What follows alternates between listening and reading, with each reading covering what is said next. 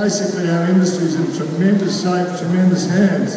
You couldn't imagine if you're a breeder being any more proud than to be running those sort of animals in the yard, loading on the truck and sending to your final destination.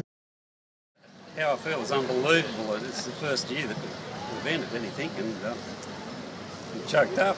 It's great. I've bred the bull and the cow that he's by. Uh, it's uh, basically a Charolais Murray Grey cross. I think he went really good. He um, behaved really well, and yeah, I couldn't really ask for him to do anything different.